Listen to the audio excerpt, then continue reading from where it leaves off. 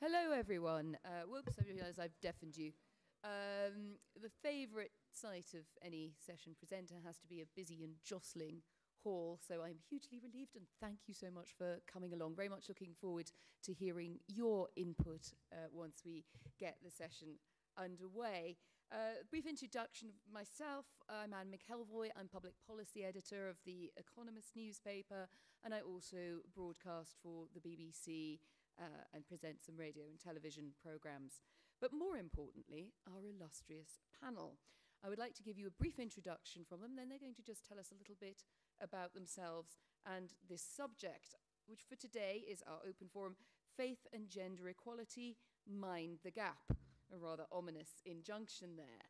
But I think this subject is one of the most fascinating, flexible, and wide reaching ones that you could discuss anywhere uh, here at Davos because it touches on so many of the concerns that have to unite us all, whether we're believers or not, or just in that awkward bit in the middle where faith comes and goes like a badly received radio station. I do think that one of the reasons for talking about this was I heard one of the contributors saying in another session that in the wake of the financial crash, the search was now for values and not just for value. And I think that also means that issues like women faiths, really, in a sense, how much do these things coexist happily? How do they work with progress, with technology, and with the challenges of the world around us are just becoming more pressing. In many ways, this debate has often been formed as a bit of a tension that faiths are holding women back, that they are, in a non political sense, small c conservative. But is that necessarily true? That's a challenge I would like to throw out to the panel. I'd also con- consider the numbers of women in the world at over half of the population, the incredibly important role that women play in the social and economic welfare and development of their countries, that also gives us some food for thought. So let me tell you a bit about who is going to be discussing that with you today. Next to me, my right, your left, is Diarmuid Martin. He's Archbishop of Dublin in Ireland, and you can probably tell that because he's got the dog collar on, and he, his job is exactly what it says on the tin. Uh, next to Diarmuid is Orzala Ashraf Nemat. She is director of the Youth and Women Leadership Centre in the UK. During the Taliban regime, she uh, was working in Afghanistan for health and education programs for women and girls. And if that isn't really putting your beliefs on the line, I don't know what is. Uh, we have Chris Seiple sitting at my far left, your right, president of the Institute for Global Engagement in the USA, one of the major organizations really dealing with dialogue between the faiths, but also dialogues with governments. And he does speak very often, uh, and I think very interesting, on the relationship between religion and realpolitik. Chris, I might be putting that to the test with you in a little while. Uh, next to Chris is Karnit Flug, who is governor of the Central Bank of Israel. So she really does have to live not only in the realm of a, a country with different faiths and some divisions, but also the realpolitik and the real economics of what must be one of the toughest jobs in the game. And to my far right, your left, Beth Brooke, Global Vice Chairman, Public Policy, Ernst & Young.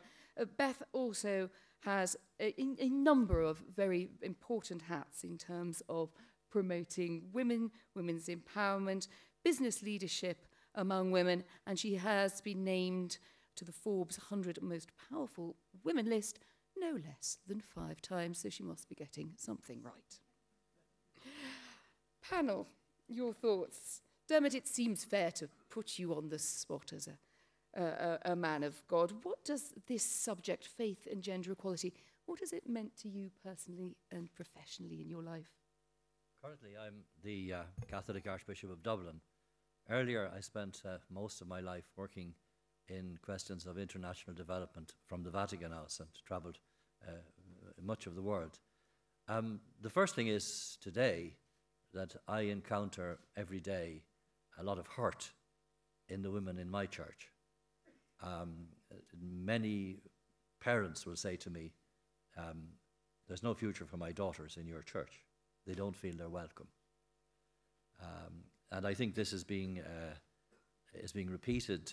Pope Francis sent out a questionnaire to every diocese, every individual church around the world, asking them questions about this uh, and about marriage and the family. And the responses coming in are very clear that there's a, a great hurt and um, and upset uh, and a feeling of not being included among particularly young women. That, that, contra- that goes down, like back to my earlier experience traveling around the world. I found that the Catholic Church and other churches have been in the leadership in education of women mm.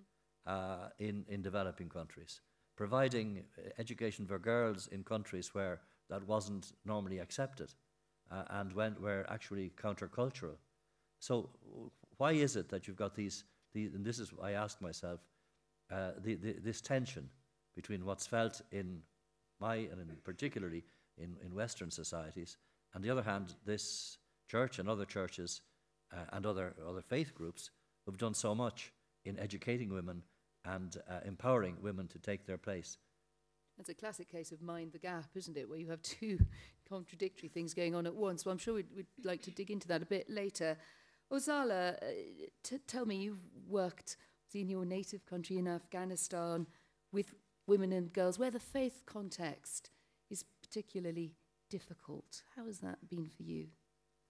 Uh, well, I may start by saying that I started my work uh, as an activist for women's rights and particularly for girls' education uh, during the late 90s, particularly during the Tal- uh, time that the Taliban, the regime that was uh, trying to portray themselves as the true representatives of the Islamic values, and they had set up a government that they considered themselves, not any other person, but themselves were called, calling it a Sharia based government. I started my activism as a conscious Muslim under such circumstances where we had in a parent, a system that was trying to link themselves directly to the religion and to people's faith. But there I was, a Muslim, born to a Muslim family, and learned a different type of Islam. And I have decided to work as an activist trying to provide education for girls within that system. So I was basically working in a clandestine situation, underground, and trying to create home based classes for girls who could get education, educated. So in a way, in a parent, you, uh, I think faith or religion is definitely playing a role in, in all our lives, particularly in the lives of people who are living in societies that one religion is majority or absolute majority, which is the case in Afghanistan. And throughout my life and my work, I can say that I have always uh, uh, uh, been faced with situations where I was challenged and my, my, my own religious uh, beliefs were questioned by radical forces and by conservative forces, trying to say, huh, when you talk about women's rights, you are not representing Islam. And I have always, in, together with my colleagues, confronted that idea in trying to give direct references from what the religion says about women's rights, about respect that uh, the faith and religion is, uh, is paying to, uh, to, to, these uh, rights and these uh, values, in trying to counter that. So I think it's definitely playing a role, and I have uh, seen that by my own experiences. And we have found very helpful and useful ways of bringing religious scholars, religious leaders, to play a positive role in order to counter radicalism and those who are using uh, any religion. It's not only about my religion, but I have read and heard from other countries also that they face with extremism, and I think that's why it becomes very important to, to tackle this issue. Thank you, Orzala. Uh, Chris Seiple, you, I suppose, with the, the sort of glorious big titles of global engagement and faith, it would be a bit odd if you missed the women out. But on the other hand, it's, uh, you know, what does it mean to you as a, well, I can't avoid saying it, as a man? Well, yes, I resemble that remark. um, my name is Chris. I've had two jobs my whole life. Um, one, I was in the United States Marine Corps for almost 10 years. And then I've been with a, an NGO for the last 13. So I have a hard, soft power schizophrenia in my mind when I think about these things. But in some ways, that's the defining characteristic of the 21st century. How do you balance these things with an emphasis on soft? Uh, I work for a think and do tank. Uh, our whole premise is think before you do. I know that's uncharacteristic of um, your stereotype of Americans, but we're trying it out. and uh, the, what our premise is is that religion, if it's been a part of the problem, it's got to be a part of the solution. That's simple. We all know it's been a part of the problem, and we'll probably talk about that later. But how does freedom of conscience and belief intersect with national security issues? So that takes me all throughout East Asia, Central Asia, Pakistan, and Banu, um, and to the MENA region, Middle East, uh, North Africa. Uh, I come at this from three angles or three perspectives. One is I'm a person of faith, and I think a person of faith has a responsibility to be in regular dialogue with their holy scriptures, to be tuning in the radio station that is intermittent and trying to listen a little bit clearly and say, what does it mean to live out the commands of the faith? I think that's very important, otherwise, why believe? Uh, the second thing is I'm married to my hero. My wife has worked in government. Uh, she has worked in the financial sector. She's complete, she just took her doctoral oral and written exams. Uh, we didn't think we could have kids for seven years. We've had four, and we just found out we're having a fifth. Uh, she inspires me. I don't know how she does it. the last piece is this, though, to the interfaith part of the question, is um, I was in a recon, uh, reconciliation dialogue between Christians and Muslims in Cyprus in the fall of 07. And the way they did it was they broke us out, and we were at tables of four, and I sat next to a woman from Syria, from Hama. And the whole thing that we talked about for, for one of the days was what does it mean to submit to the will of God? Fascinating. You can't be superficial about that kind of question. Islam is to submit to the will of God. That's one of the definitions besides peace. And uh, she told me her story. Her name is Dr. Rufaida, and she went to the people in her town, to the mullahs in her town in Hamas, Syria, in 1992, and says, Where does it say in Al Quran Kareem, the Holy Quran, that a woman can't have an all women's college? And they couldn't point to anything. So she established the Al Andalus Institute for Women's Studies, and we, have part- we partnered with them before the Troubles uh, and did two conferences in 2008 and 2009. So I come at this with a humble perspective, allowing for the mystery and majesty of God, and also learning along the way from, from people around the world.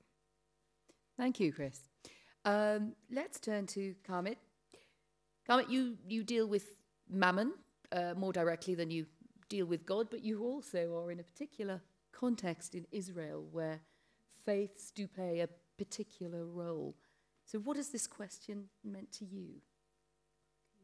Thank you. Uh, I'm a labor economist by training, but I've been uh, dealing with public economic policy for many, many years.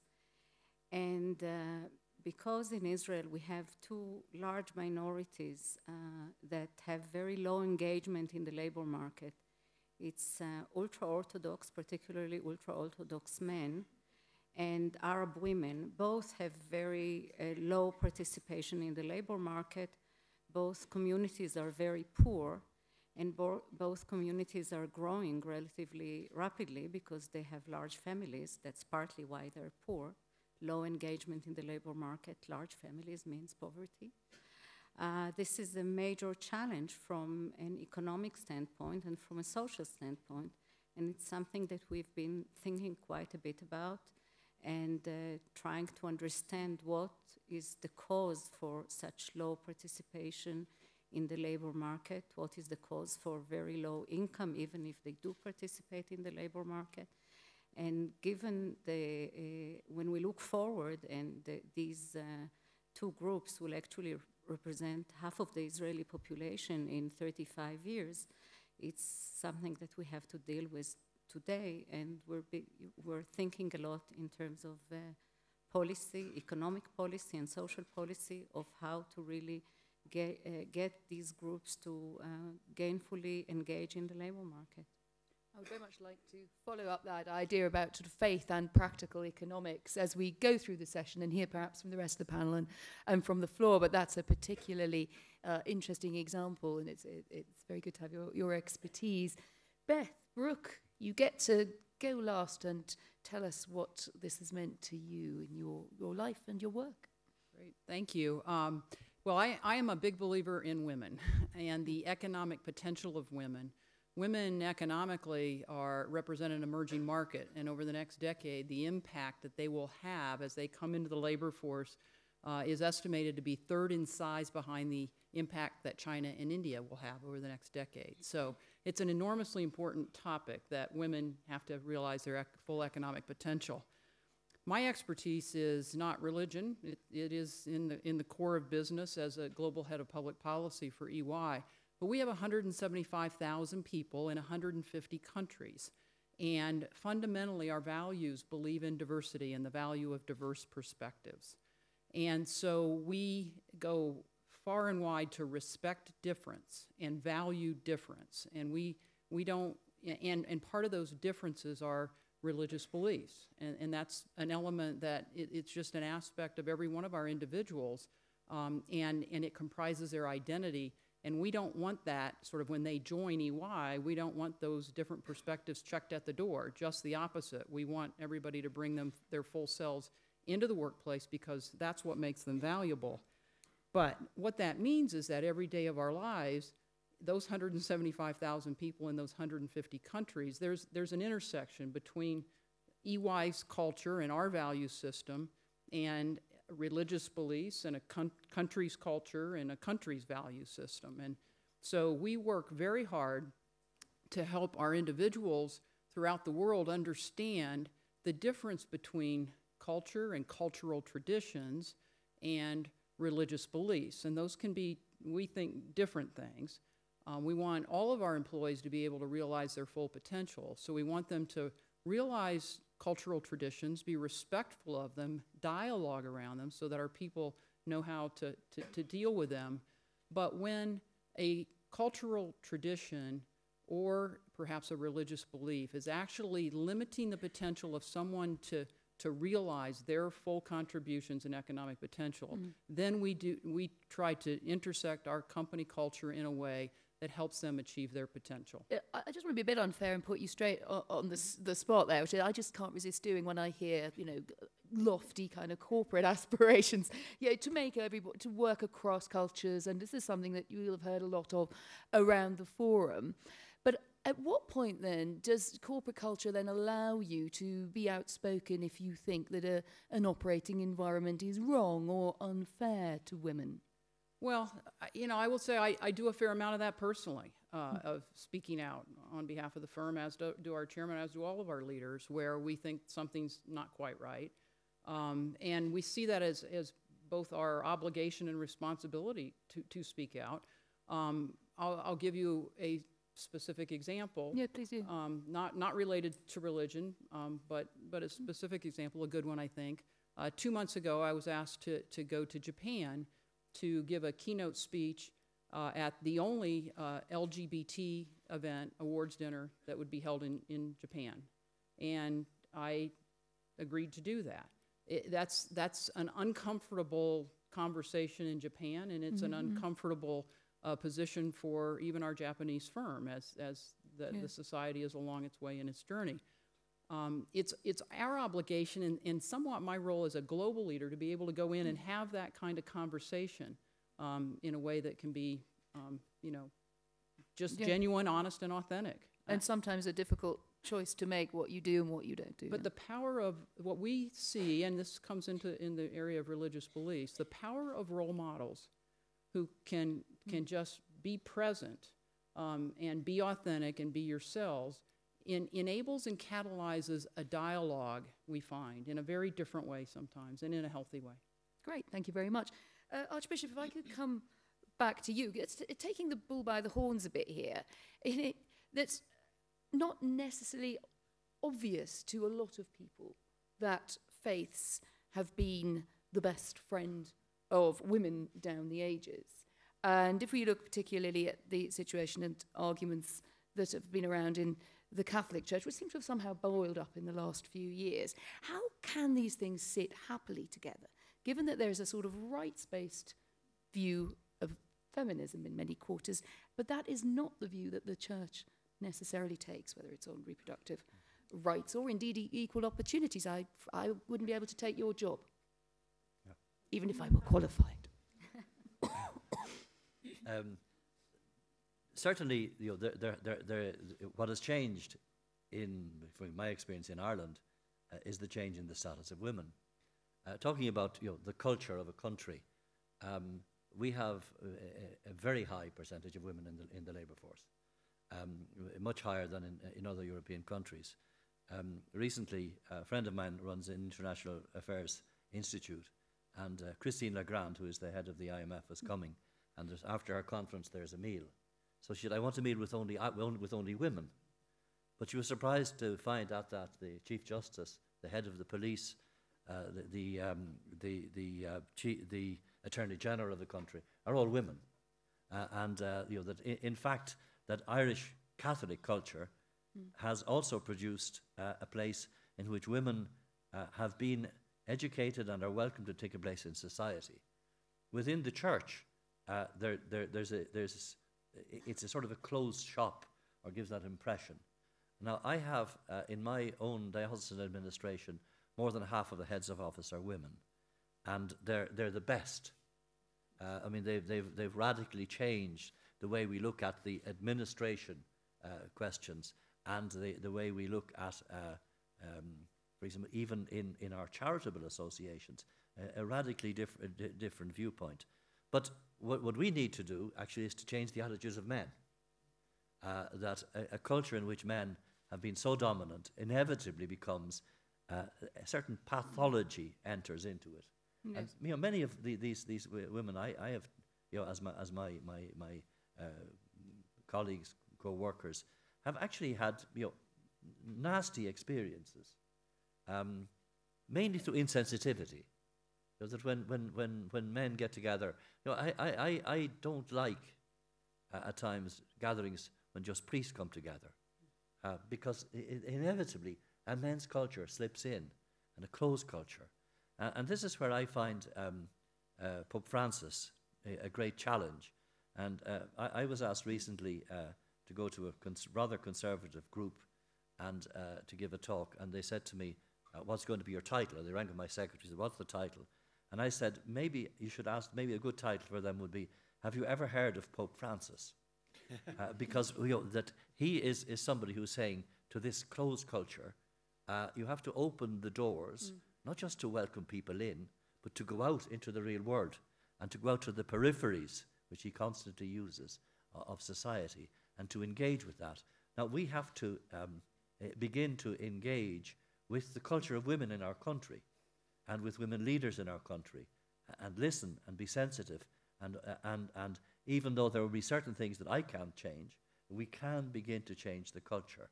Um, but well, you changing you a culture of men is not things, e- but easy. let, let, me just put, yeah. you, put you on spot on your own views. Given that this is a faith which, you know, for the foreseeable future isn't going to have women priests at a parity with male priests, and the stance of the church historically on contraception, uh, and perhaps more controversially on ab- abortion, or depending which way around you, you look at it.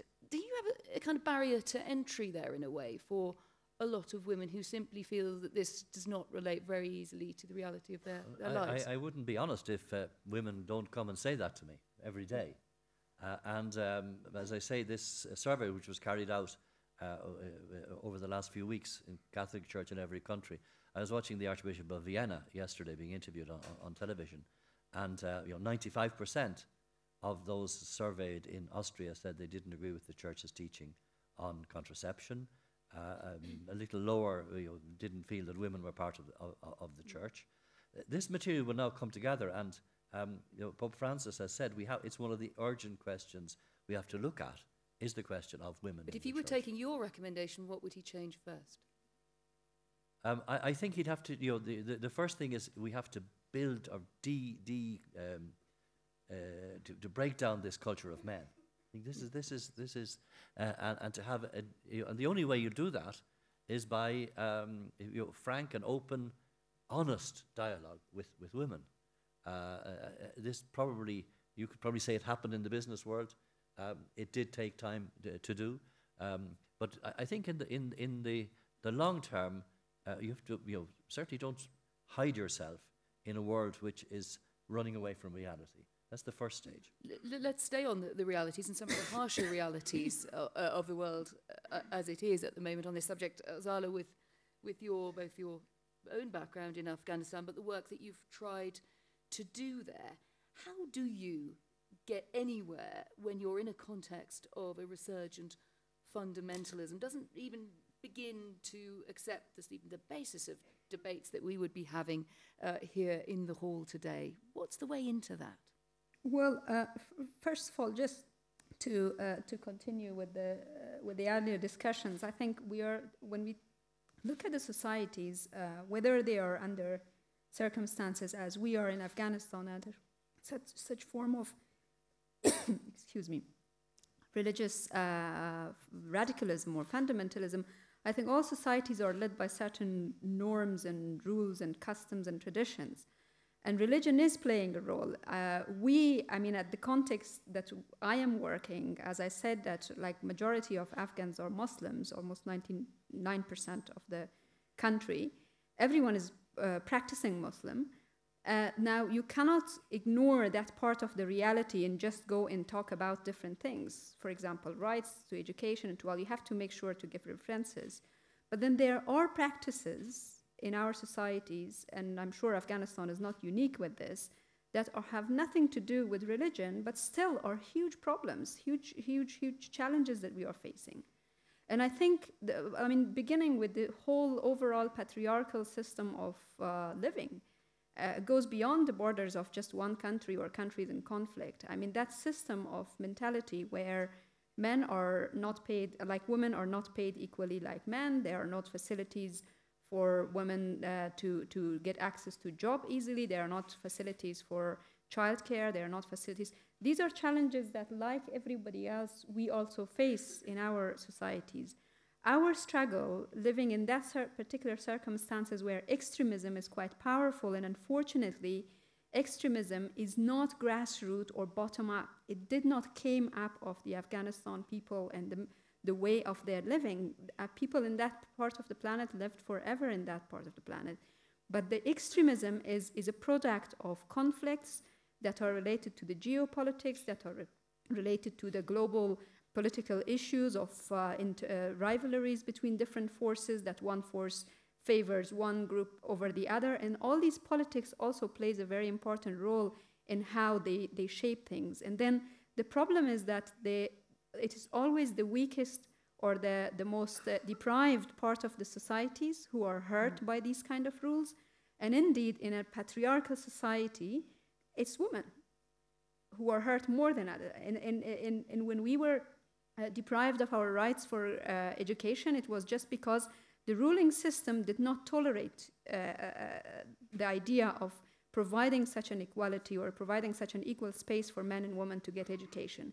And you know what's happening now? Now, some of them, some of the kind of uh, uh, um, converted Taliban or so called moderate Taliban are now coming and trying to say, you know what, we are not against girls' education. Our own daughters are going back to school. And I said, well, as a human being who believes in change, I can agree that you have changed, but I cannot forget the fact that I was putting my own life at risk, and I know so many hundreds and thousands of girls and women were putting their own lives at risk to get education, a right that you were actually depriving us from. So extremism is there, but the means to fight it or the means to counter it is always, uh, it has to be supported uh, through different networks and it has to be more uh, uh focusing on the structural and fundamental causes of these inequalities. Like, like you mentioned that the speaking with men, it's, it's not only uh, man, I would like to say, it, there are also, unfortunately, some women who also have this mentality that this is how we are created. Men are privileged more than women. So that's the mentality that men and women have that needs to be changed for future. Thank you. I mean, Chris, you, you dwell on this fault line between geopolitics and faith, and I think try to productively use that and to forge links, but actually also to make things happen. I can't believe you'd only like to be doing it as a talking shop. Does, does it really get anywhere? Might be at the back of our minds. Or is it just something that faith groups will, of course, want to, well, at least most of them want to show that they're open to dialogue. But do, would you tell me where you think it's actually made a difference? Yeah, that's a, Well, there's a lot going on in this conversation. Uh, in some ways, what we're talking about is um, how does the best of faith defeat the worst of religion? Hmm. And I use that in a security context, but it can be used in any kind of context where religion, and there's nothing wrong with these words. Please don't receive that in a, in a, in a negative fashion. I'm just trying to provoke the question.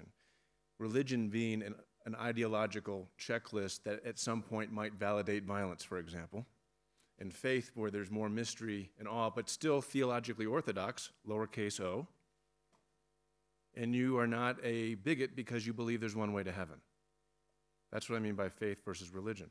And so my way of, of addressing some of these issues, I think there's only one way, is you have to go back to your own holy scriptures, which is why I started out with that very point. On the issue of women, uh, you also have to reserve judgment and let people within their own faith listen to what they're saying in an exegetical sense and take the time to understand what they're saying.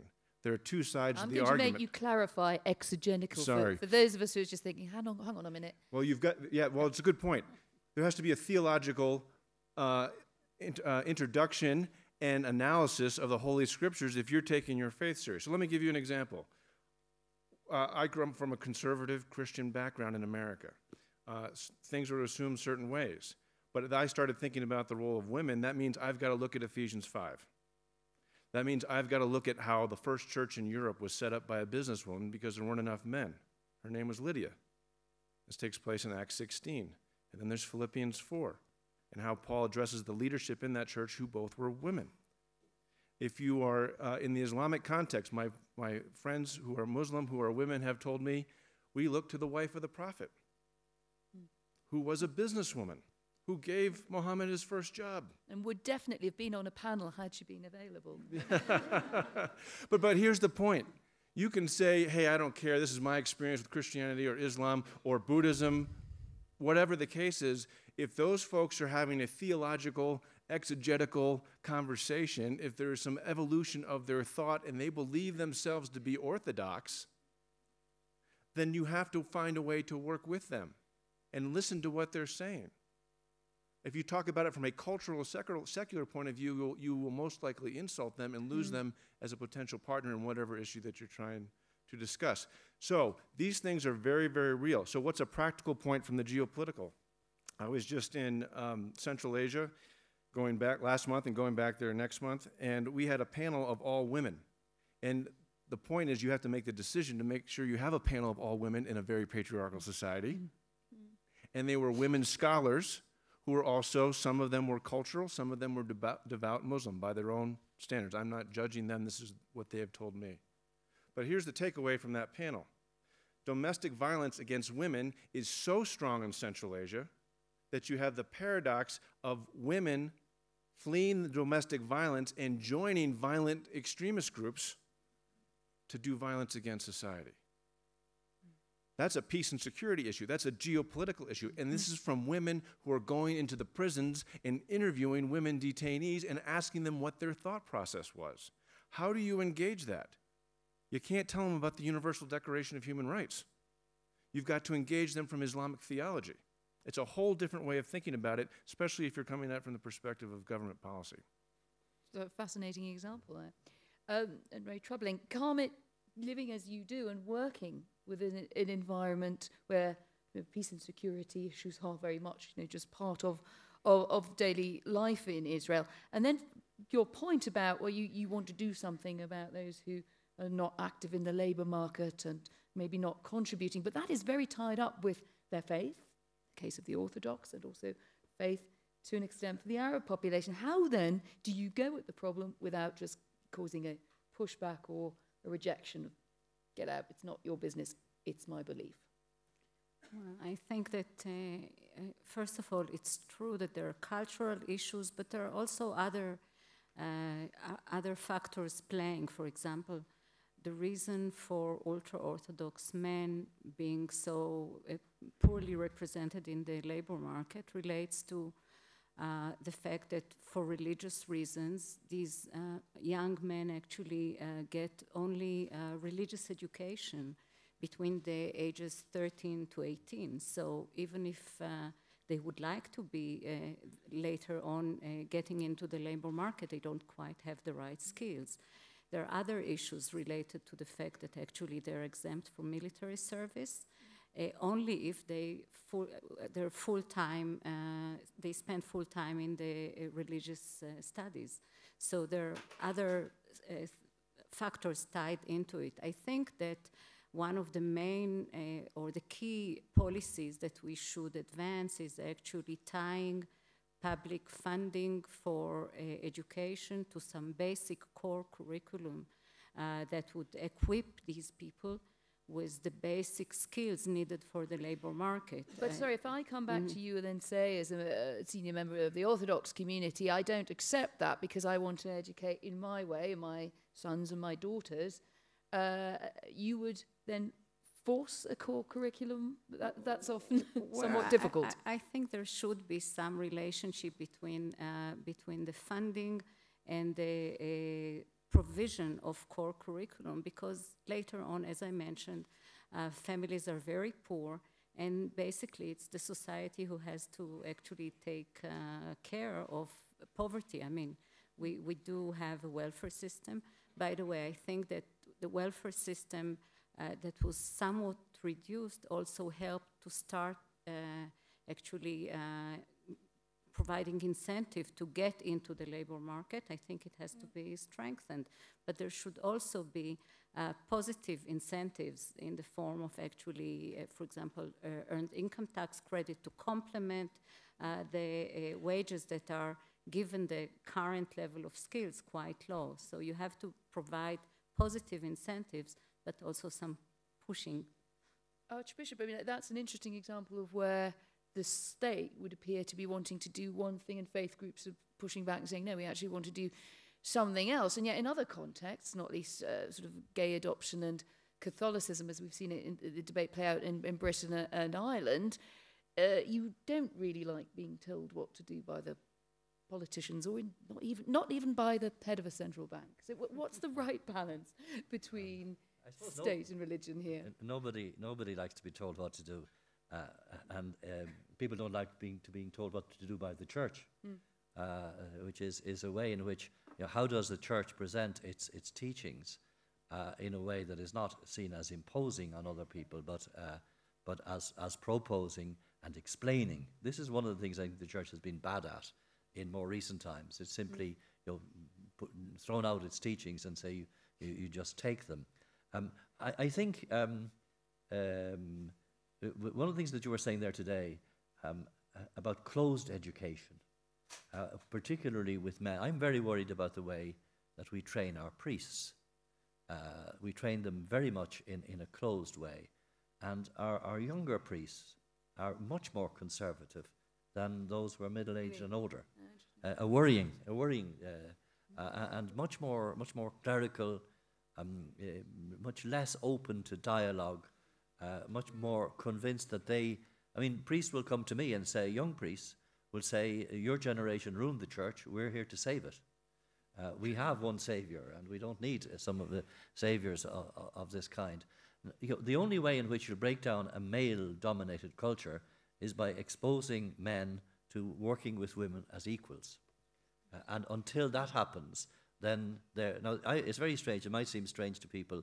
I first experienced that in the Vatican. Uh, I went into an office when, in fact, in which I was a priest, but there were very strong women there. Yeah, Uh, and um, you know, I, I, also maybe fortunate. Not something that one particularly associates Yeah, with the Vatican, yeah, but it's yeah. let a bit of light in for us. So if we walk into one of these, uh, you know, the sort of outer offices of the Vatican, you would find quite a lot But of there was also there was a good culture in that particular office. Other offices would not be the same. I mean, I, I, I come from uh, um, my. I have a picture of my grandmother in 1922 on a motorbike. Uh, she was quite a strong woman, and my mother hated her because she was also a strong woman. They just did not get on with one another. Uh, and and you know, if, if you grow up in that sort of culture, um, you know, I, I, you, I, I, my my mother, I remember saying to me, the first time I remember meeting my grandmother, "You're now going to meet one of the nastiest women you'll ever meet." and, and but th- really, she wasn't nasty, but she was very strong. And, and we came up from Dublin to this to, to this lady who sort of looked us up and down. And, and uh, but you if you don't have that, then you'll, you'll find yourself in a, you, and this is a big problem for the church overall. The church can make itself into a comfort zone for the like minded. Uh, and again, this is what Pope Francis is saying. If that's what it is, then you've lost the church. You're not the church. The church has a message which it has to break out from its own closed doors uh, and go out and stand there um, you know, on your own two feet uh, and begin to, to, to accept criticism, to listen to criticism, and to change the way that. that, that, that. You know, I, I became Archbishop of Dublin uh, at a very difficult period when there was a major uh, scandal of child sexual abuse. And I had to face this on my own. You know, I had, I had major, uh, uh, you know, major investigations, and uh, very at times many of my other bishops you know, wrote public criticisms of me because I had to stand there and listen to the victims and to listen to their stories and to, um, you know, at times, you know, come away almost traumatized myself yeah. from, from, the, from the burden of what I had to, from the aggression of what I had to hear. But if I had not listened to that aggression, I, I wouldn't have been able to do what I have been trying to do. So th- this idea of, uh, you know, uh, closed groups who decide themselves on what their level of privilege is, this is a big challenge that I have to face in the culture of the church. Uh, and the only way you do that is by, by listening to others. I mean, you know, on, on, on uh, you know, I have, uh, you know, in, in dealing with, with uh, uh, gay and lesbian people, transgender people, uh, again, I, I listen to what they're saying and, and meet with them and you know, feel with them. Um, but you know, this is, isn't the tradition. This wasn't what I was trained to do. Mm. Uh, and, and I have to do it. And um, I'm amazed at times at um, you know, simple things. People come to me and say, you're, you know, you're, you're doing extraordinary things. You've got great courage. I haven't. You just, you just have to go out and do that. We have, we have to change that culture in the church. Yeah. But it, it's very interesting. I was just, I see Beth, you know, I was wondering if it's a sort of, are you thinking what I'm thinking? If you've been in business and corporate life f- for a while, there are just so many reader crosses here. You know, people think of the church, maybe the Catholic Church at the moment, having very distinct problems, but the whole thing about closed cultures, a kind of pathology of male-centered organisations, which don't even really realise that they're male-centered because that's just normal as far as they're concerned. And I don't know if that reflects your experience. Uh, just as you talk, I can't help the parallels are so striking. Um, and, and on so many levels, you are such an incredible role model yourself.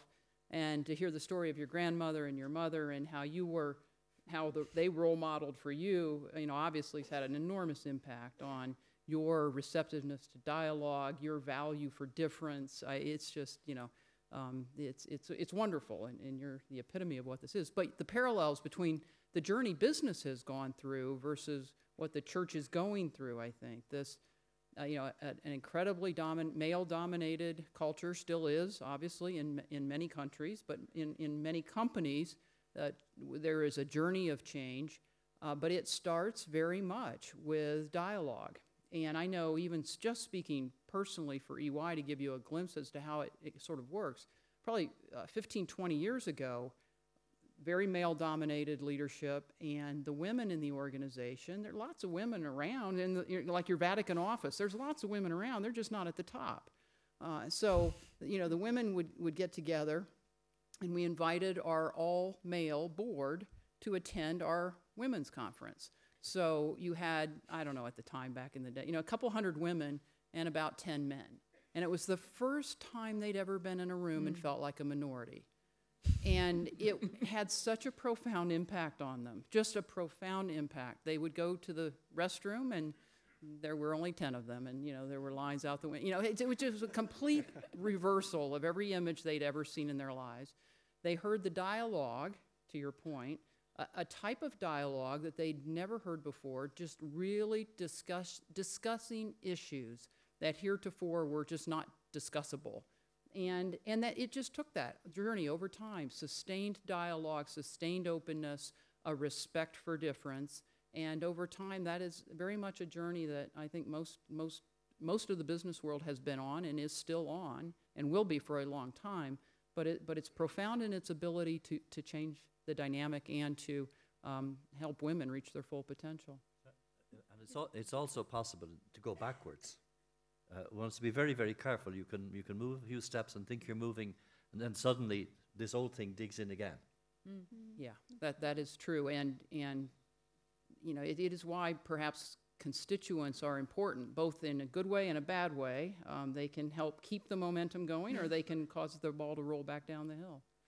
Right, that seems a very good point to uh, let you come in on the, the debate and ask some questions uh, for the panels. I'd like to take you them in, you know, a couple or two or three at a time, just because it gives us a nice range of subjects. I would say if you could make them short, as in haiku-like short, because I think we do, you know, get the point, and we'd love to sort of have a, a flowing conversation. So um, if you could think sort of brevity and sharpness and put them all on the spot, uh, that would be great. Now, who's going to kick us off?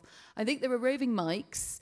Um, please put your hand up prominently because I'm very long sighted and barely I see beyond the middle. Uh, there's a lady in the front here, and if you could introduce yourself when you ask a question.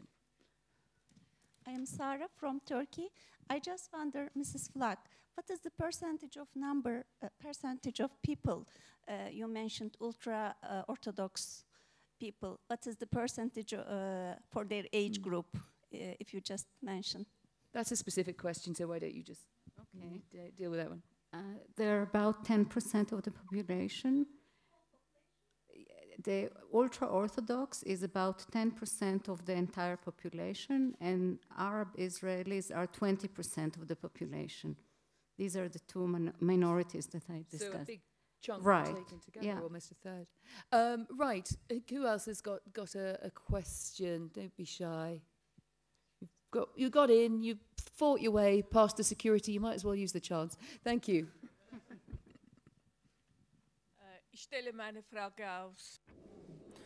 I will put my question in uh, German because I'm from Switzerland. Just a moment, just a moment. Be patient for a second. Okay. I have a question, first of all, to the Archbishop. When, eventually, will women in the world be entitled to determine themselves when they have children? In the Philippines, the Catholic Church is defending itself against the tuition in family planning.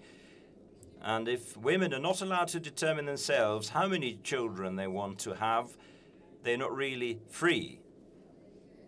That- That's one of the that's one of the big ones. I, I am going to broaden it out to the rest of the panel because I, I don't want to just have people sort of feeling that they are only on the spot. But on this one, it does seem uh, a fair one to put straight to you.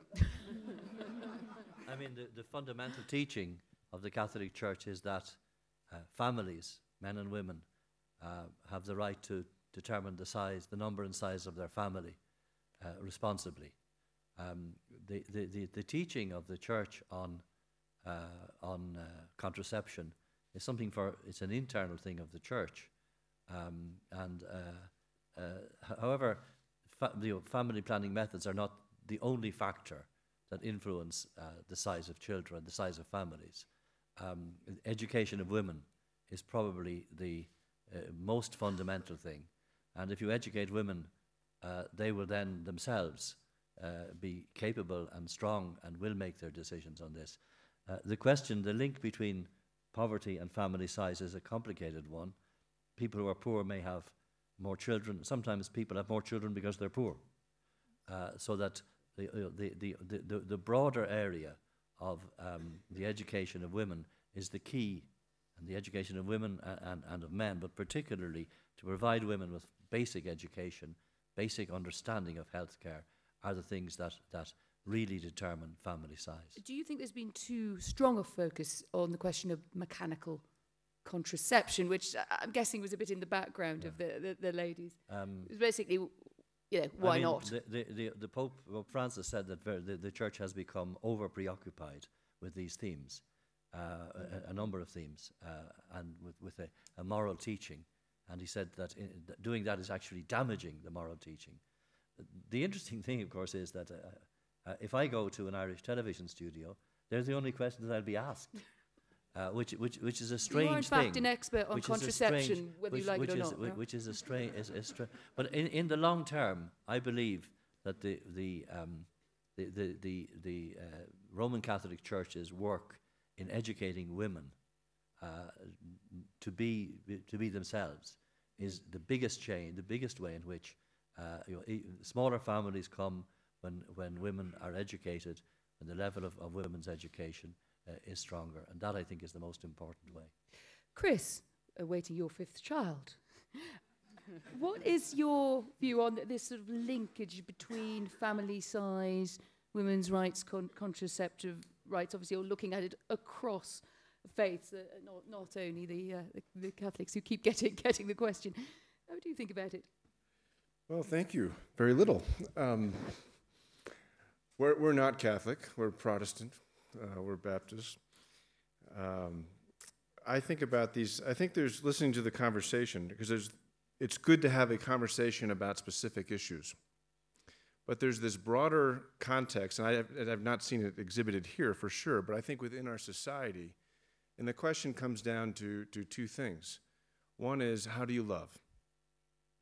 And I think the definition of loving is I need to love my neighbor in a language and logic that they understand.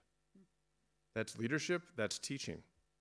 And that's what the Archbishop has demonstrated in his own archdiocese on these very difficult issues. And then the second piece is how do you educate?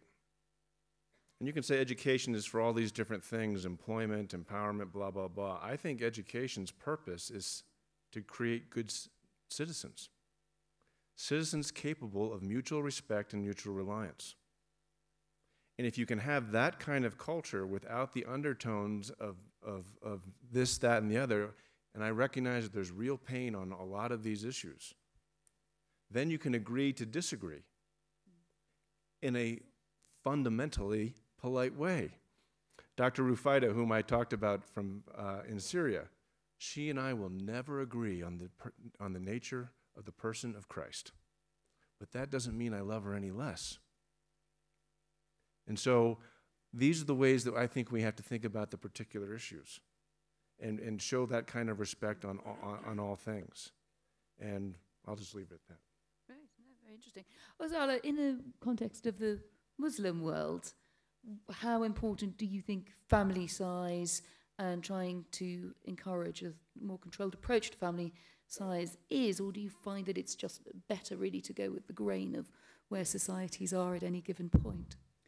Well, uh, I think uh, when it comes to Muslim world, I think there there are lots of similarities when it comes to, for example, family planning issues, and there has been challenges that I remember as a refugee. I lived in Pakistan, and in Pakistan also lots of. It, it, first of all, it's a very family to family, community to community, and it's a very individual matter.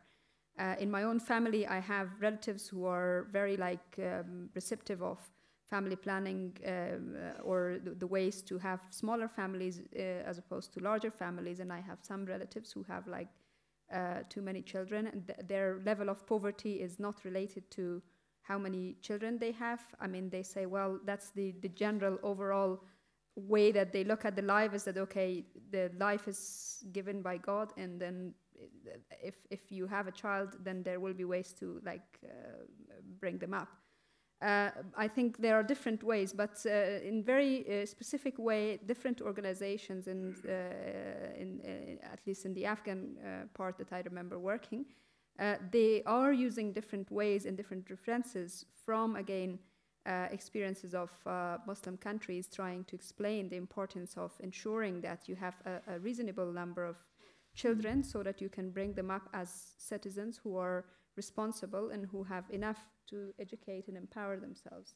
So if you have again conservative forces, I mean the conservative and radical forces are I mean let alone the issue of family planning, they are even like nowadays targeting directly the vaccinators, those who are Mm. vaccinated. I mean that's the, the, the challenge that we are dealing with. Is family size rising or falling in Afghanistan after these, this very extreme period in the country in the last decade or so? I think there is not a significant. Uh, I mean, first of all, they are not very like reliable data, but in general, there is not any sign to say that it is rising very dramatically. Mm.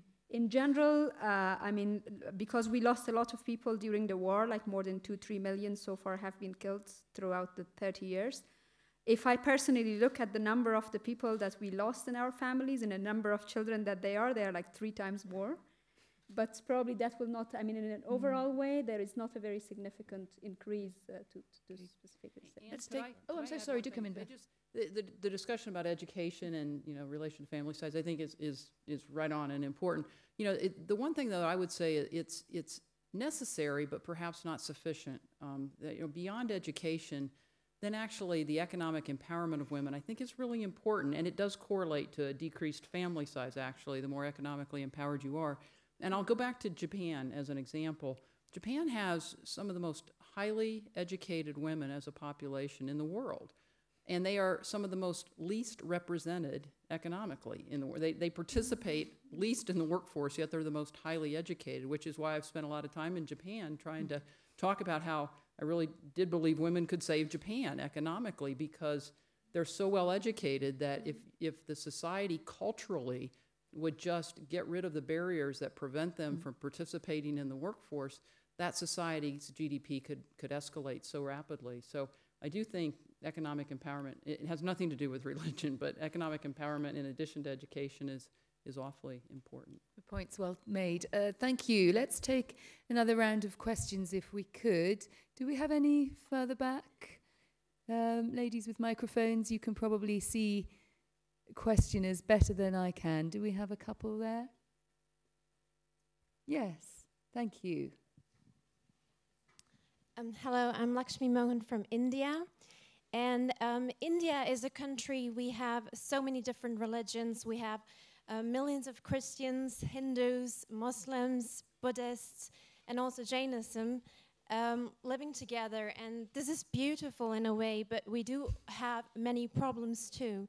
So, what do you think the religious leaders or the government of India can do to empower women and most of all protect women because you've been reading in the newspapers um, about women in India lately. Thank you.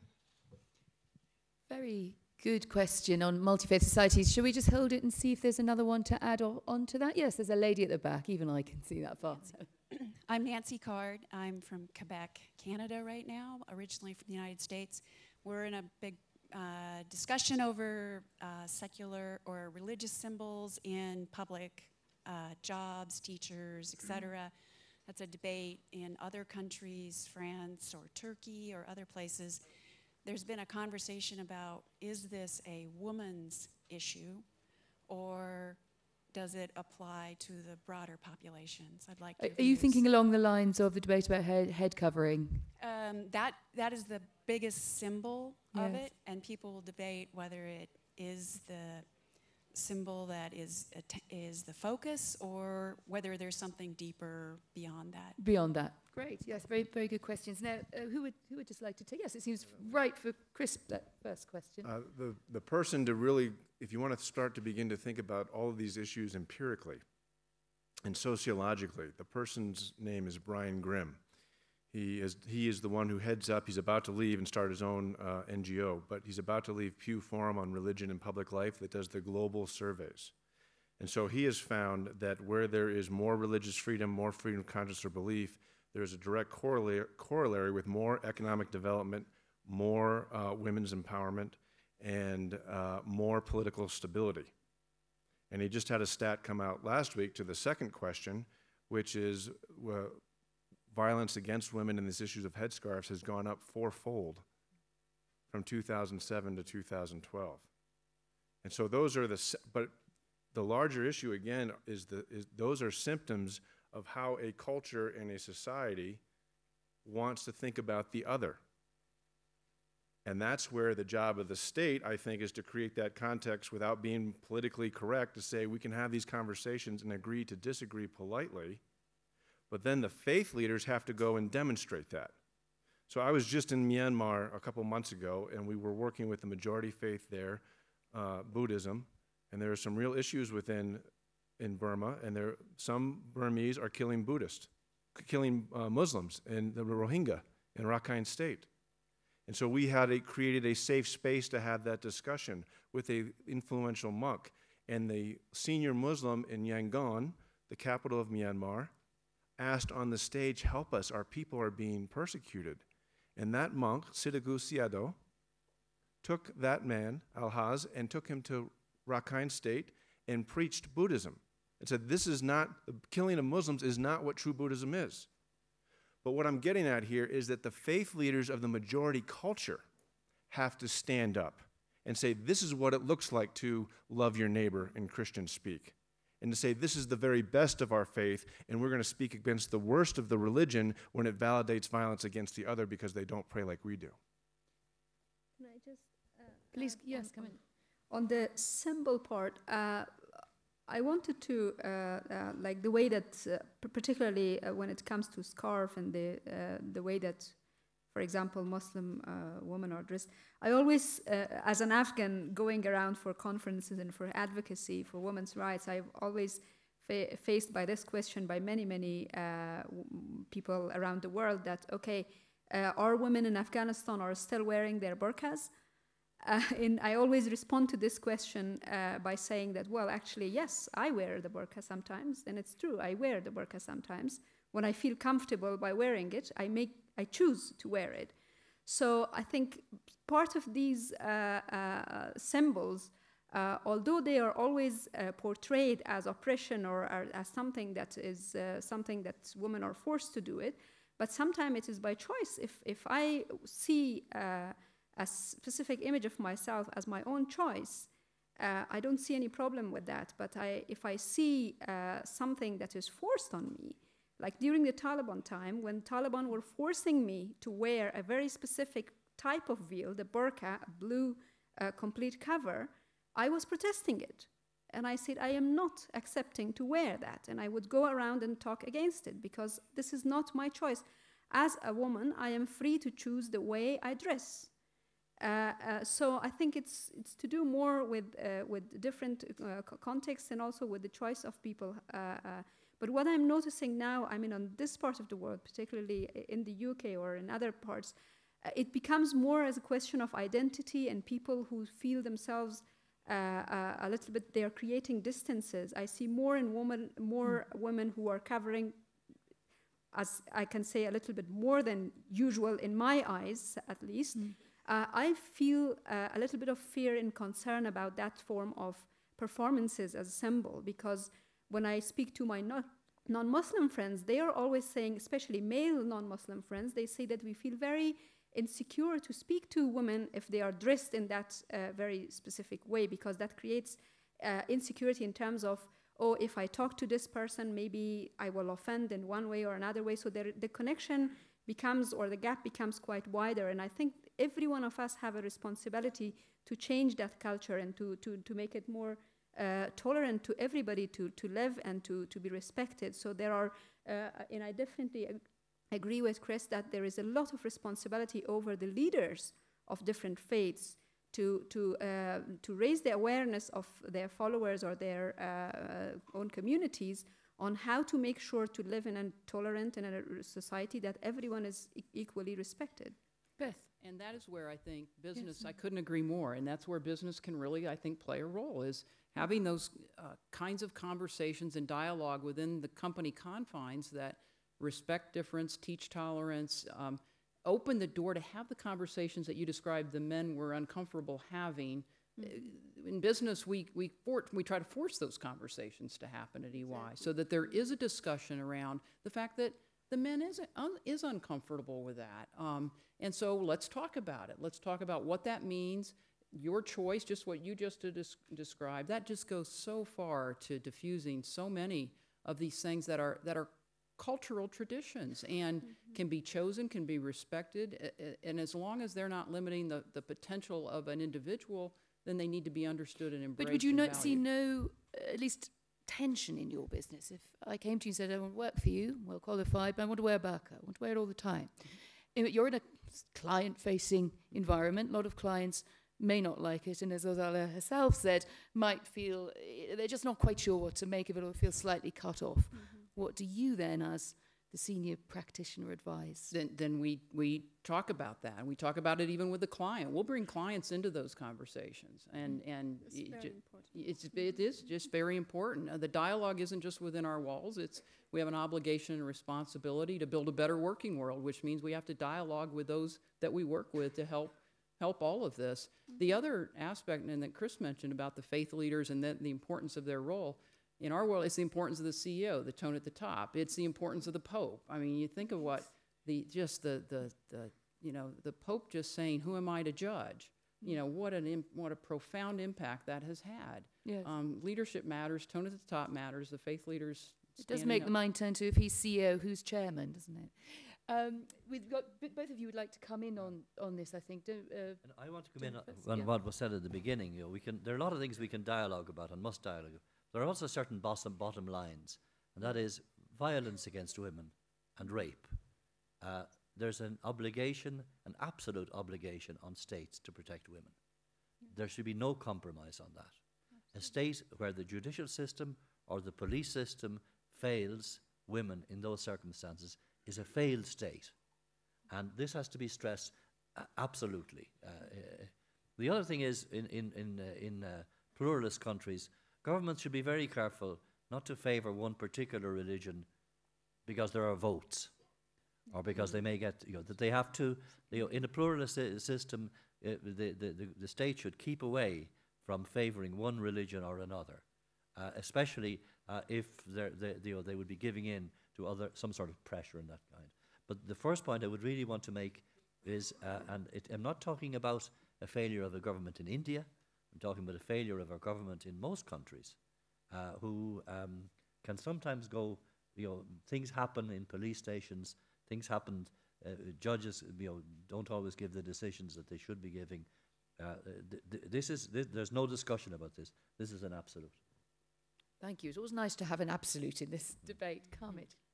I think regarding the question of empowerment of women, I think part of it is economic empowerment.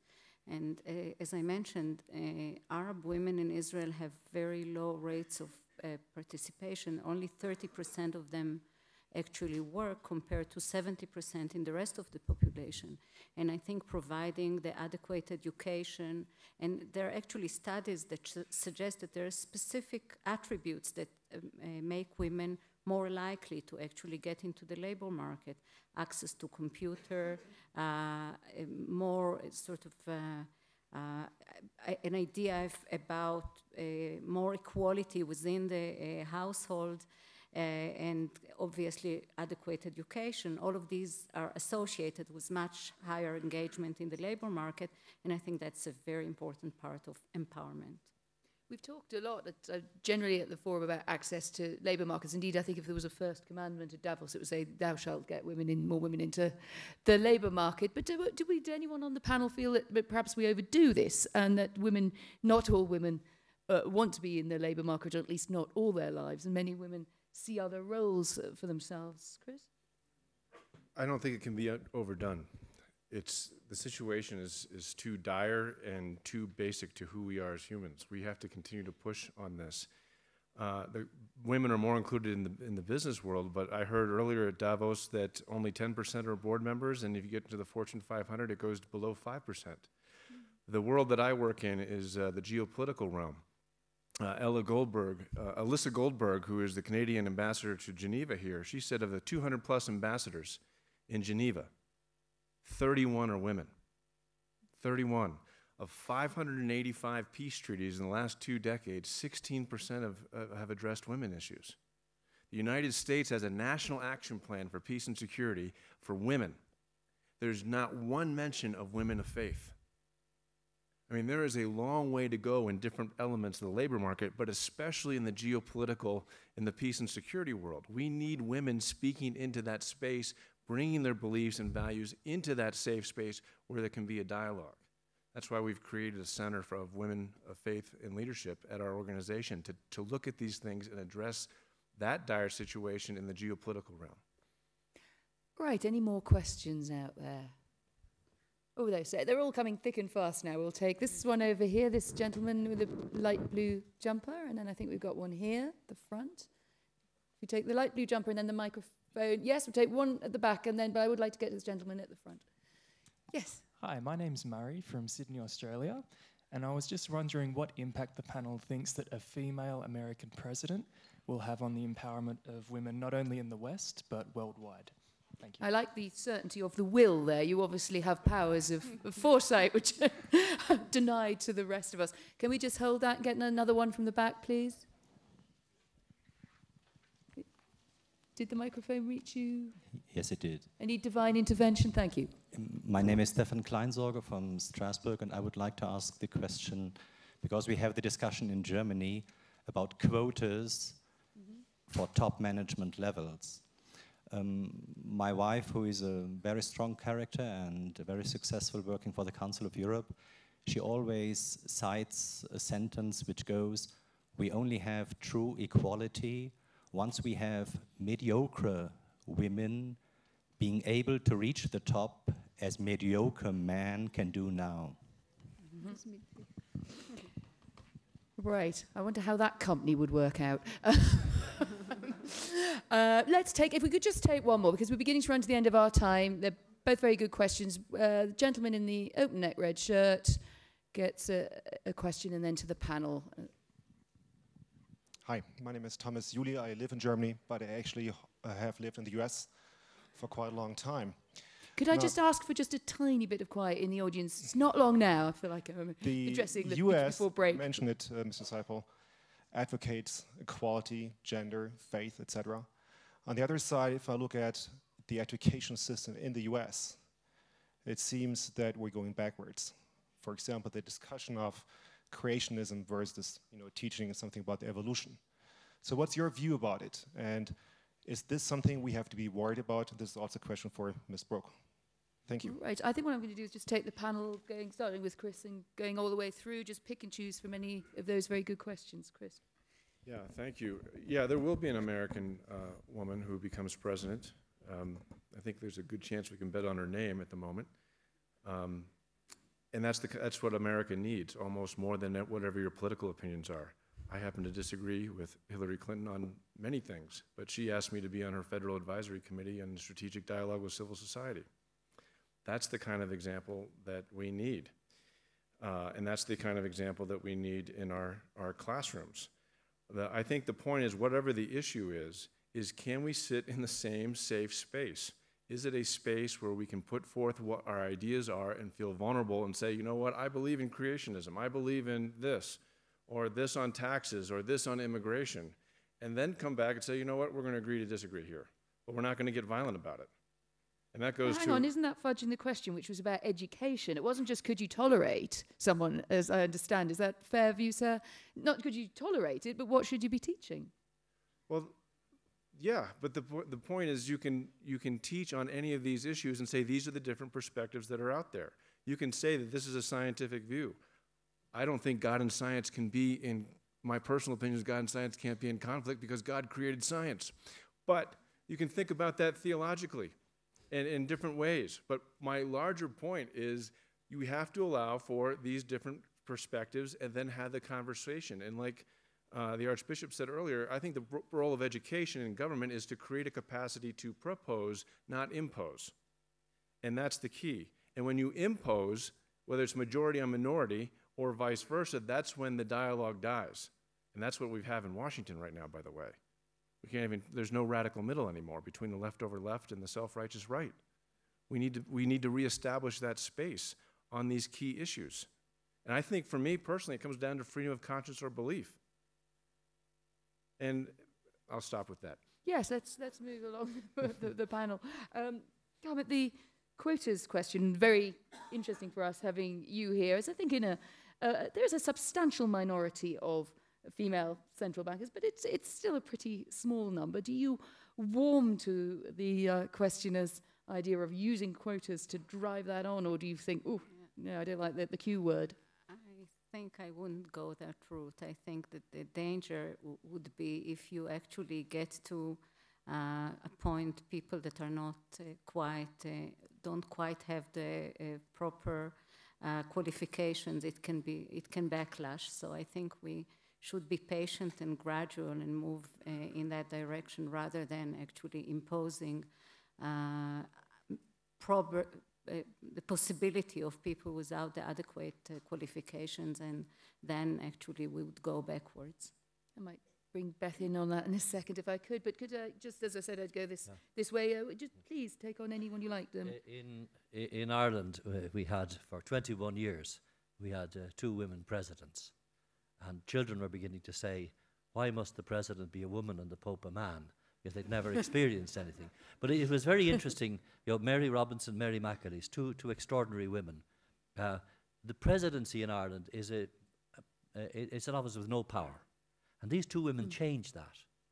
Uh, for example, the president in Ireland can't make a speech without the approval of the government.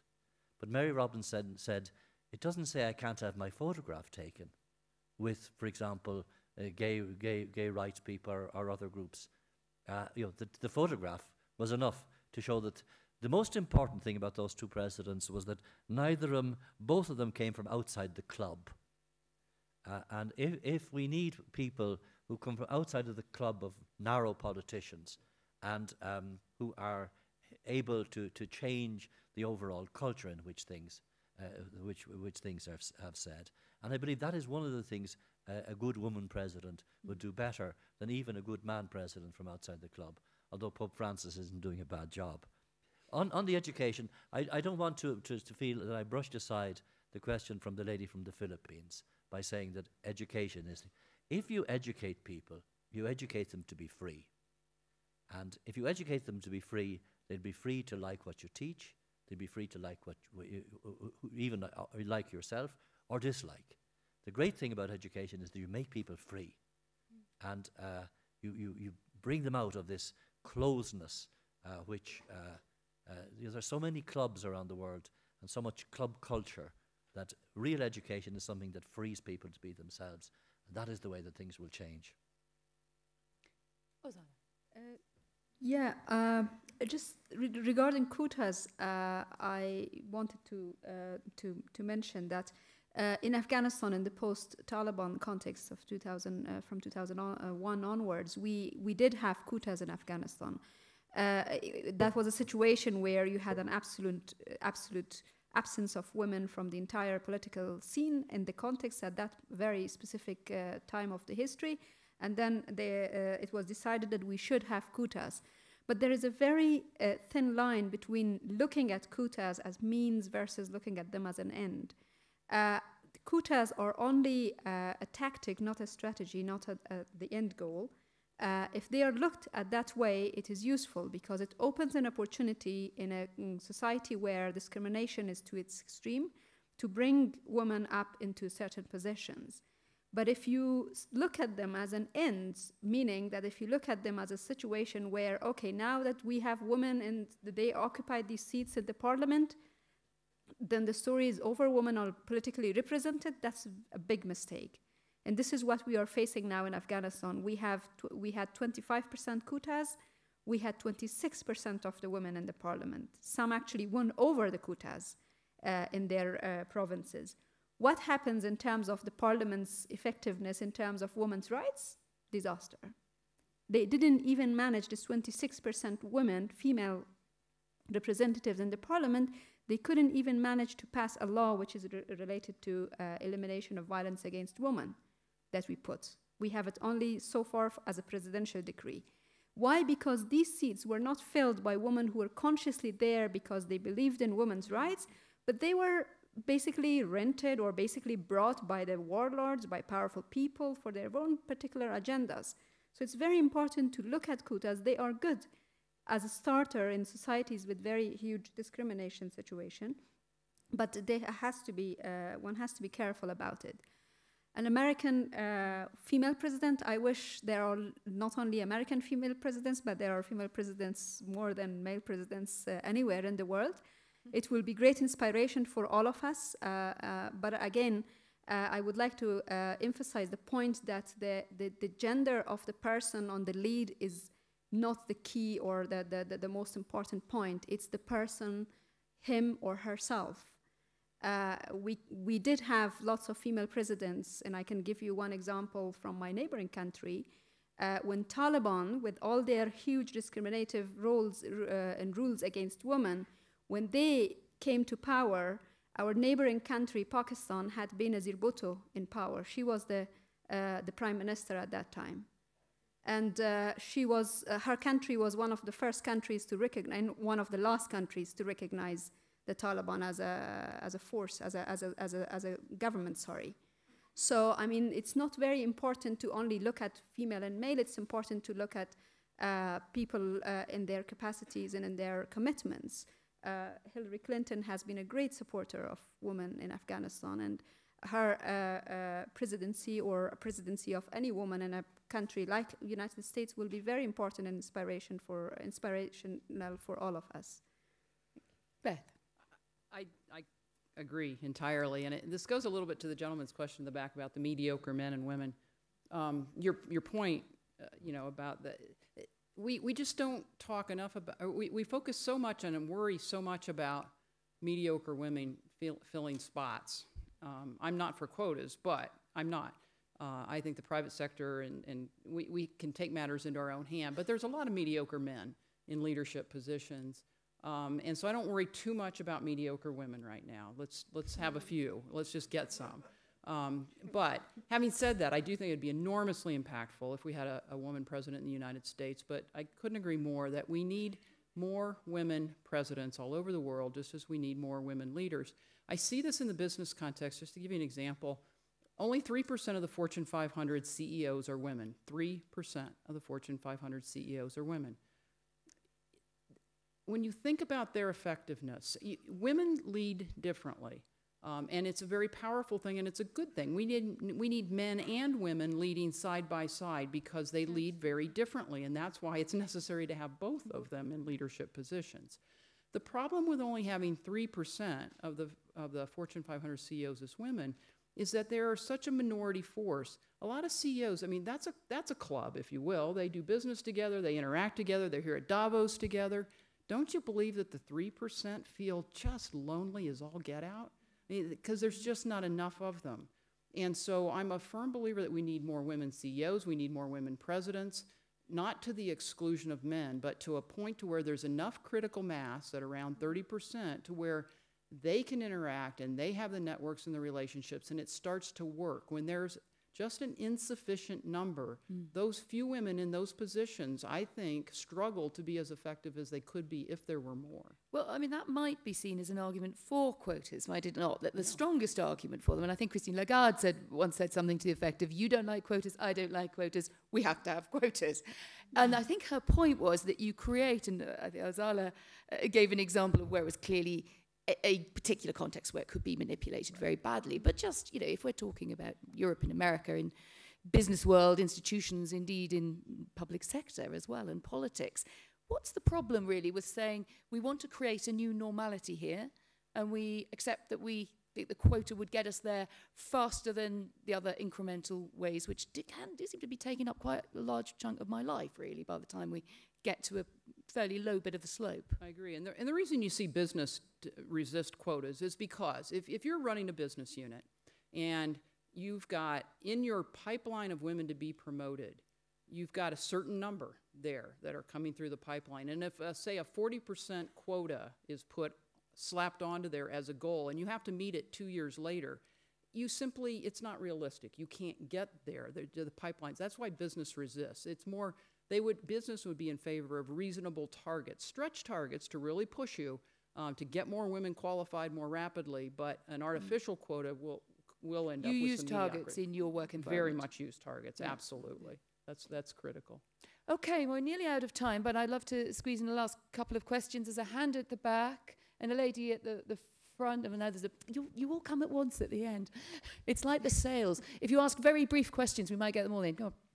Uh, thank you. Um, you mentioned before that uh, priests, young priests, are more conservative than uh, the old generation of priests, mm. and in many parts of the world, we see increasing conservatism and increasing religious influence, or what one might even call uh, religious extremism. And so, what's the role of religion in making sure that this type of conservatism is not hindering the furthering of women's rights? Okay, that's a very nice sort of wrapping up question. There was a, someone at the back. Yes? Um, hello, my name is Sarah Schmidt. I'm from Switzerland. And um, we talked a lot about women and what women should do. And in Switzerland, women have a lot of opportunities to be well educated, to study.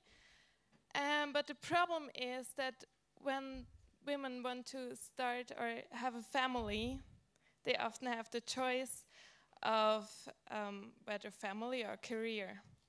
And my question is what do you think about educate or teach men to take responsibility at home, to do domestic work, um, and not only to be a breadwinner, but yes, do other work? I tell you, when you find that educator, can you send him around to my place? Uh, can, I think there's a last question. Whoever really put in a first claim, I think we have to take at this stage, because we have five minutes to hear from the panel. So, last question, please, if you could make it short and very sweet. So, hi, I'm Peter Niemann from um, Germany. I actually have two questions. We Ooh. talk about the education of women, um, um, especially the education of women of faith. But how about we go out and educate the men of faith? I think that's something that we always dis disregard. A second question is um, we forget how powerful we Western how powerful we Western countries are. We give all of these billions of dollars in, in economic aids. Why don't we just say at least six years of education of 90% of the women? Otherwise, we're going to cut the economic aid by 25%. Thank you. Okay, yeah, right. Let's go the other way around this time to conclude. Beth. I, I, am all for it, absolutely. Um, the, the, uh, good suggestions. The, the, what you suggested in the back about the, it, it, that's where the heart of public policy, I think, comes into play in your question about, about Switzerland in, in the, in the family choice issues of that um, a lot of, some countries are considering paternity leave in addition to maternity leave. Uh, part of that is for economic reasons. Part of that is to change the social programming, to force sort of the, the husband to spend a period of time taking on the burden of care mm. so that they learn to do it and they understand the responsibility of it. Um, you know, paid child care. A lot of the public policy aspects can address some of that. Um, last thing I would say that I should have said to the prior question was just that whole aspect of quotas and things. I don't know if you, you heard um, Prime Minister Abe speak last night or maybe the night before to the plenary uh, here in Davos, but he said he wanted 30% of women in leadership in Japan. Now, call that a quota or just call it aspirational, I don't care, but it sure set a direction for the country. Yeah, interesting. Orzala, last thought. Yeah, uh, related uh, to education, I think uh, it's uh, absolutely critical uh, to consider education for boys and girls, for men and women. Uh, we have experience of so many programs in Afghanistan supported by different institutions, governmental, non-governmental, focusing on raising awareness on women. And what they created was more violence against women. Why? Because women became more aware of their rights, but the perpetrators were more insecure because the women knew more about their rights, so there was a clash. So we are trying to really reconsider this whole uh, uh, interventions on different fields, social or awareness or legal, uh, in all to make sure that men are also educated. It also goes with the uh, women and men of the faith. Both needs to be educated in the way, and I definitely agree that education is what uh, makes a person free uh, to, to, to choose where. And extremism, and why, I, and I definitely agree, it was interesting for me to also hear that it's not only an issue with with the Muslim world, where we have younger, more extreme form of uh, uh, people with more extreme form of ideas. Again, I think the only solution for it is education. Uh, that education, which is more civil uh, form of education, that makes people to have more broader, much broader, beyond just particular, precise, strict religious education, but more scientific and broader education is the only way to stop extremism or to. Orzala, uh, I'm just going to bring you to close out because I feel we just need to keep to time and move along the, the panels. Apologies for cutting you off, but Archbishop. Uh, my, answer to bo- my answer to both questions is the same. Uh, I'm very worried about conservative trends uh, in, in younger priests. And I'm asking myself, why? Uh, what are they looking for? Or more important, what are they fleeing from? They're fleeing into a comfort zone into their own little club, into their own clericalism, and there's so many others of these types of clubs that exist. Whereas the message of Jesus Christ, which the one they should be living and preaching, was to free people, to make them happy. That means reconciled and integrated themselves and fulfilled. And when I talked about my experience about victims of child sexual abuse, the thing that hurts me most is that those people will never be the men and women that God wanted them to be. That the damage that was done to them is so permanent. And um, we, we have to see, uh, to work out in a world where so many people are wounded, not to be just worrying about ourselves and our own groups. Comments? Okay, a word on education. I think that any public education system should include co- core curriculum, whether it's for women or men, including math and science and English and so on and so forth. I think it's crucial for future uh, ability to actually uh, get into the labor market. Uh, regarding uh, women, uh, I think the issue of childcare provision by the state is very important, and also obviously changing the norms within the households. Uh, I change it in my household. I think everybody can. ah, good. A quick example. What, what, what has changed in your household? Encourage us all. You and your husband takes on more of the domestic tasks. Well, we, you we have, have quite a, ve- good a- excuse a- with your job, haven't a, you? If a you, if very you, equal division of labor, Yes. yeah, and it started from the beginning. Yeah, well, given that the entire Israeli economy depends on you being kind of able to work, I suppose it, he might be persuaded. Uh, Chris, last word goes to you. Yeah, thanks so much, and thank you for everybody for being here. Um, you know, there's a saying that uh, marriage begins when you wake up one day and you realize the person next to you is not you. We're talking about the human condition. It is the human condition to project ourselves onto other people and assume that they will look like and act like and vote like and pray like we do. Now, it's a responsibility of the people who have been in the power the most, the majority culture, the majority faith, men, to step outside that and say, okay, why doesn't she agree with me in a marriage? It's, and to begin to empower and enable that kind of thinking and that kind of self efficacy of confidence that they can do it and figure it out together. In our own, my own marriage, it takes two. You've got to be in constant communication with your first neighbor. When my wife went through her doctoral exams, I took off a month, became the global house spouse. but, but you got to have those conversations and figure out where the boundaries are, and they'll shift according to where you're at in different points of your career, especially if you want to have children. But have those conversations. Have that safe space in your home so you can have it in your community. And if you're living it there, then think about ta having those conversations overseas. And the last thing I would say is this I would, want, would not want this conversation to alienate people who are making what we would call traditional choices. I'm very proud of my mother. She stayed home and raised three great kids, and that's a full time job.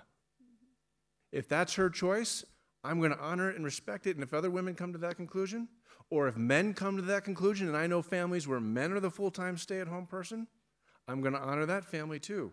But the point is the safe space to have the honest discussion about the deepest differences, even irreconcilable political and theological differences about all of the issues that we face. That is what we have to figure out in the 21st century. Gender issues at the, at the top of the list.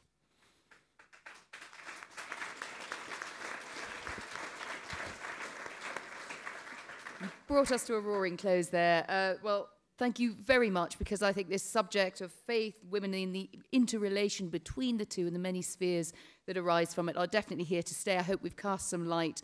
Particularly, I want you to thank our panel, I think have reacted with candor, spontaneity, flexibility, and all that one could wish for from a panel. And to you for coming and for your questions, which were very galvanizing. Thank you very much.